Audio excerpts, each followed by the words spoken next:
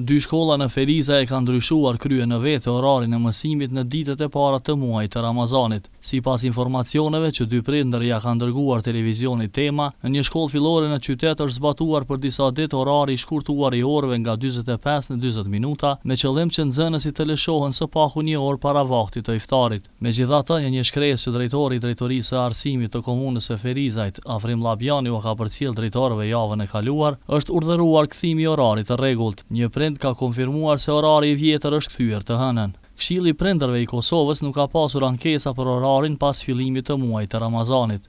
Nuk kemi pas asnjë kërkesë të tillë, edhe nuk na është dërgu as e-mail, as shkresë, as telefonatë. Megjithatë, nëse ju keni informacione edhe paska ndodhë që realisht në disa shkolla paskan fillu me e shkurtu orarin, kjo është çështje që ka organizu shkolla domethënë, që është e padrejtë, edhe unë po besoj që në këtë rast edhe inspektorati duhet me marrë masa me kthy orarin e rregullt. Unë nuk e shoh të arsyeshme për shkak të muajit të shenjtë të Ramazanit tash me u kthy me ndryshu orarin e mësimit. Ky problem realisht nuk do të ndodhë jo veç Ferizaj por edhe në asnjë vend të Kosovës. Megjithatë nëse ka ndodhë unë po e shqyrtoj edhe po e po e diskutoj edhe me organet tjera. Inspektorati i Arsimit u ka kërkuar autoriteteve komunale që të mos lejohet ndryshimi i orarit dhe i kohëzgjatjes së mësimit pa pasur vendim nga Ministria e Arsimit për shkak se pa rrethana të qëndrueshme specifike çfarëdo ndryshimi është në kundërshtim me legjislacionin në fuqi. Andaj ju lutem që këtë informacion e bartni te të gjithë drejtorët e shkollave të komunës suaj dhe njëkohësisht u bëni me dije drejtorëve se nëse edhe pas kësaj shkrese ndodh që të mos respektohet orari mësimor, Inspektorati i Arsimit do t'i ndërmarrë të gjitha veprimet ligjore konform legjislacionit në fuqi ndaj të gjithë atyre që nuk e respektojnë legjislacionin në fuqi, thuhet ndër të tjera në shkresat e Inspektoratit drejtuar Drejtorisë së Arsimit të komunës së Ferizajt. Shkolla Jeronim de Rada ka punuar me orarin e rregullt edhe pas kërkesave të disa mësimdhënësve që të shkurtoheshin orët. Me gjithë respektin që kam, shkolla është shkollë, është vatër gjigante e diturisë, nuk ka të bëjë as me Ramazan, as me atë, as me atë. I ka obligimet edhe përgjegjësitë e veta. Ne si shkollë, me atë minutazh që kemi qenë dyzet e pesë minutsh, me atë do të thotë prej fillimit E kemi mbajt mësimin edhe e kemi vazhdu mësimin me këtë minutazh të orës.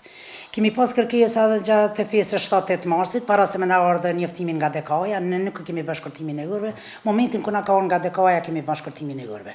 Kemi pas njëjtën gjë edhe kur kemi hi në muajin e shenjtë të Ramazanit, për shkurtim të orëve, mirëpo thënë drejtën do thotë kemi hasur mirëkuptim te kolegët tonë edhe kemi thënë që minutazhi i orës nuk shkurtohet pa na ardhur njoftimi nga DK-ja dhe nga ministria.